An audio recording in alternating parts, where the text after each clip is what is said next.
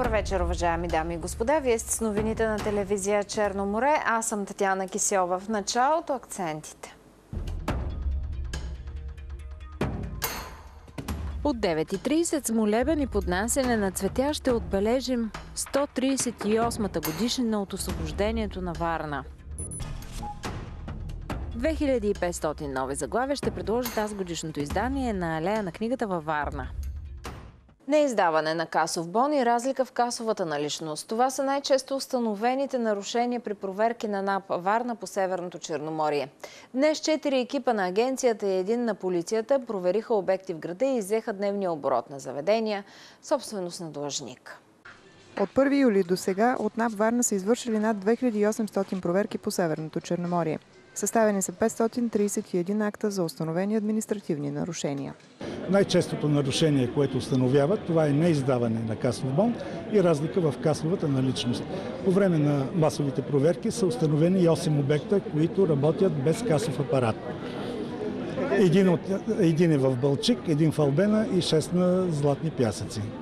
Един от обектите е запечатан за срок до един месец, другите са коригирали своето поведение, закупили са касов апарат и ще им бъдат съставени само актове от 3 до 10 000 лева. Проверките до крайните точки на Северното Черноморие ще бъдат засилени през почивните дни, тъй като по предварителна информация на пристигащите румънски туристи не им се издават касови бележки, а такива от Кочан, които не отговарят на изискванията на Закона за счетоводството. Публични изпълнители от НАП Варна изеха и пари от каси на длъжник от 4 обекта в близост до Медицинския университет.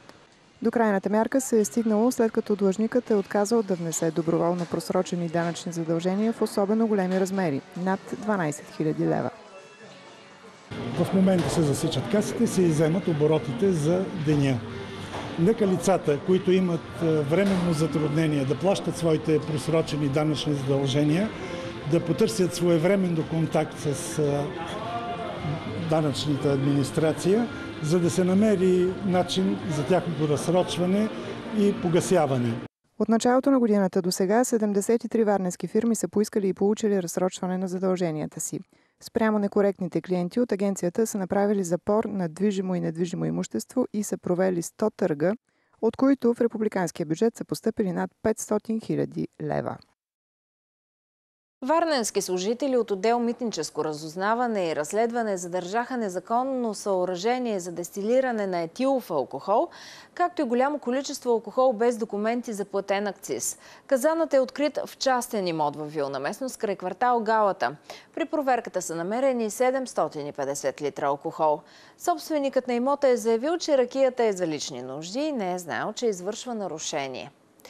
Сигналите за опасни пешеходни пътеки от живеещи в района на Централния кооперативен пазар са многократно коментирани в община Варна, но до момента становището на специалистите е, че мястото на зоните за пресичане е именно там.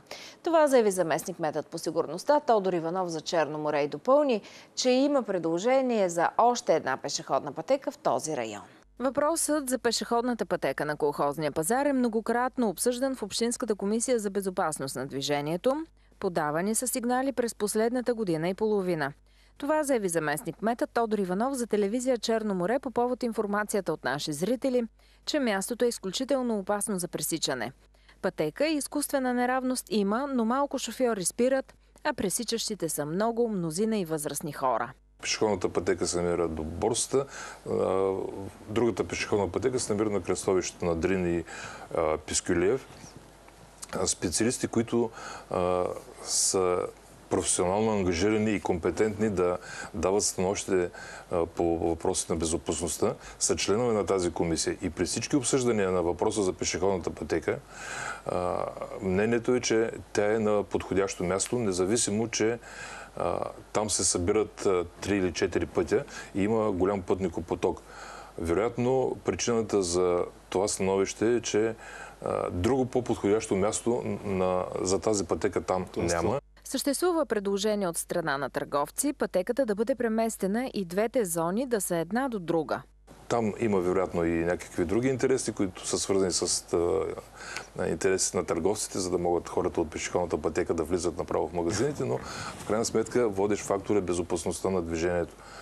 И не само това, знаете, че колкото по-начесто, защото и такова предложение имаше пешеходната пътека да бъдат една от друга, това означава автомобилите да спират по-често, което пък генерира емисии на вредни газове.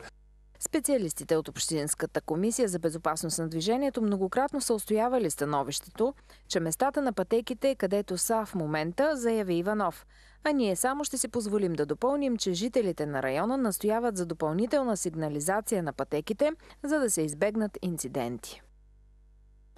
Сериозен ръст на отказите от страна на български граждани да пътуват до Турция се наблюдава в последните две седмици заради събитията в южната ни съседка.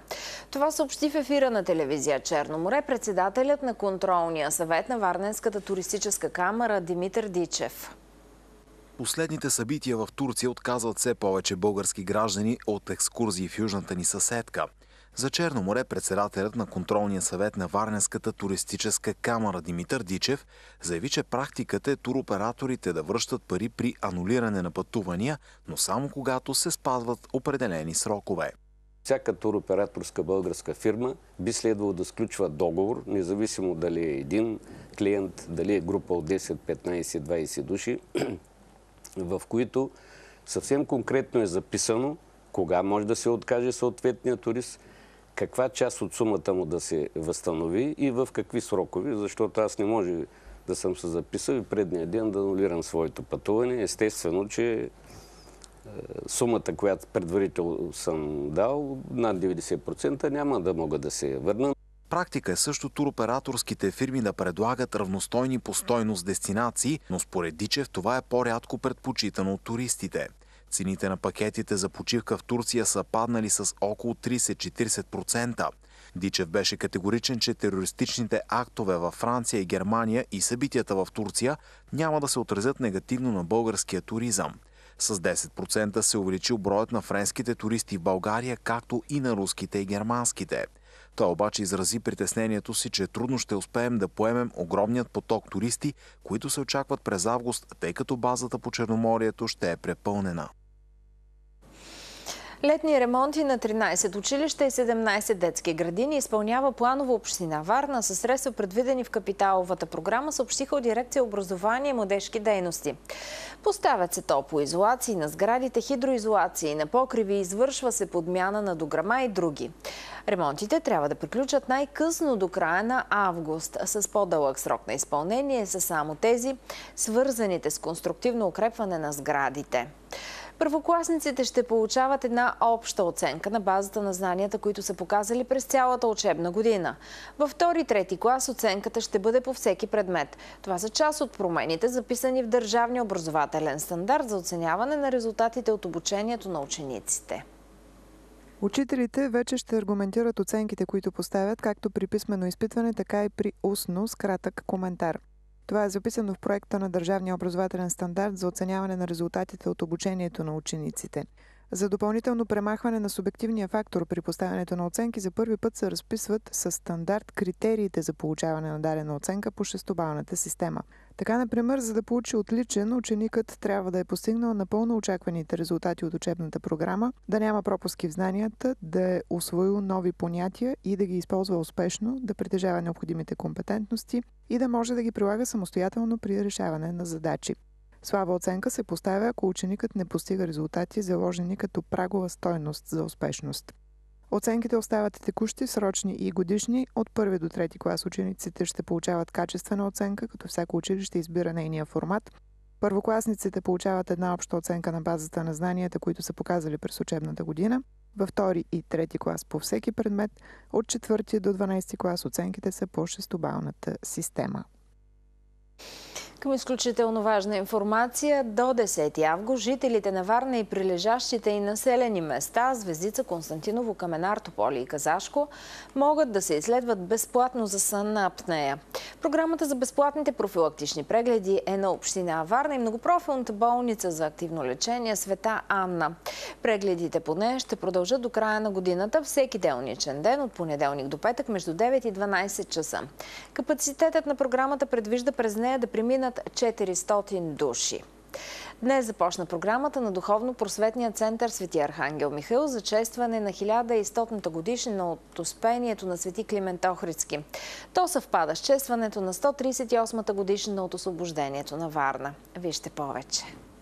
В навечерието на празника днес в Духовно-просветния център Свети Архангел Михаил професор доктор Светлина Николова изнесе лекция на тема Свети Климент Охридски в България и средновековният православен свят. Православната ни църква отбелязва паметта на Свети Климент Охридски на 27 юли, в деня на Свети Великомъченик Пантелеймон, както и паметта на светите седмочисленици. Това са първоучителите Свети Свети Кирил и Методий и техните ученици, сред които е и Свети Климент. Делото на светите равноапостолни братя за посвещението на славяните с Христовото учение на роден език било спасено и продължено у нас под покровителството на светия цар Борис Покръстител. На 27 юли, както всяка година в двора на храм Свети Архангел Михаил, ще си спомним отново за далечната 1878 година, когато тук са били посрещнати войните от 14-тият брянски полк на руската армия начало с генерал Столипин. От 8 часа и 30 минути е светата литургия, а от 9.30 с молебен и поднасене на цветя на паметника ще отбележим 138 годишнината от освобождението на Варна.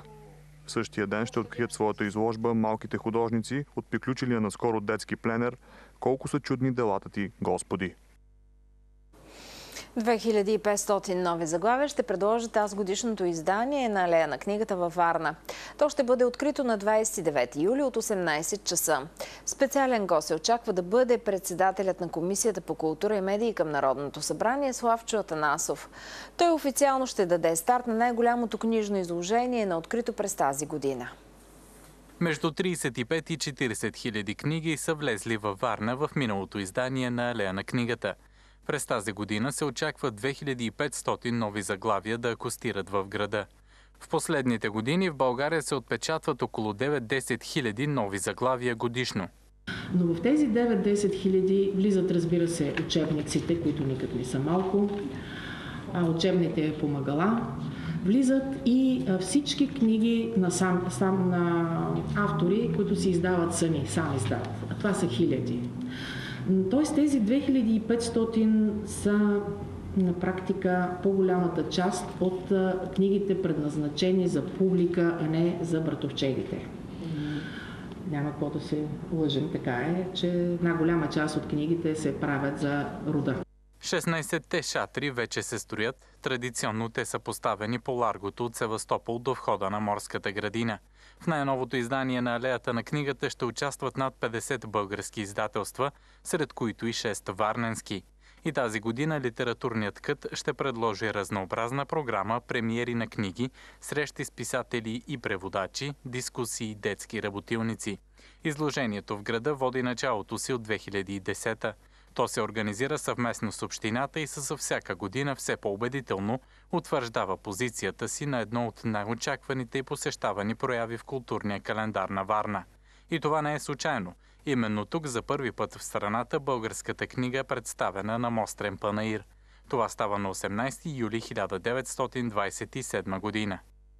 Защо ние можем да кажем колко много издатели и книги са е, участвали на това първо изложение? Не само защото преписката е запазена в Държавния архив в Варна, а защото, защото от всяко една, един екземпляр издателствата са оставили за архив в нашата библиотека по една книга. И ние, разказвайки живота на книгите във Варна, бяхме правили едно такова проучване. Поредното издание на Алея на книгата ще бъде открито в петък от 18 часа и ще продължи до 7 август, всеки ден от 10 до 22 часа. Две линии, тролейбус номер 88 и автобус номер 31А ще обслужват безплатно пътниците в деня на откриването, съобщиха от Общинското дружество Градски транспорт. Жестът е в подкрепа на четящите варненци и се изпълнява по решение на Общинския съвет. Майката на съпругата на генералния промоутор на Формула 1 Бърни Екълстоун е била похитена в Сао Пауло, съобщиха бразилските медии. 67-годишната Персида Шунк е била отвлечена в петък близо до дома си. Вече е известен откупът, който похитителите искат над 36 милиона долара. Още от света в следващата хроника. Двама въоръжени с хладно оръжие мъже взеха петима заложници в Сенетиен Дюроврер, близо до Роан, Франция. Силите за борба с тероризма бяха включени в операцията. Нападението стана по време на сутъчната служба на 26 юли. Свещеникът е бил убит. Нападателите влезли в църквата, когато в нея е имало 6 души. Свещеникът, който служил, три монахини и двама вярващи. Една от монахините успяла веднага да избяга и вдигнала тревога. При полицейската акция двамата похитители са били убити. На мястото веднага пристигна френският президент Франсуа Оланд. Сириецът ранил 15 души при избухването на самоделната бомба, която е носил баварския град Ансбах, е призовал във видеото за извършване на още нападения. Това съобщи базираната в Съединените Американски щати организация, проследяваща активността в близкоисточните информационни и интернет мрежи. Видеото, за което те говорят, е цитирано от агенция АМАК, смятана за основен канал на разпространяване на информация от Ислямска държава. Амак за пръв път посочва и името на сириеца Мухамед Далил.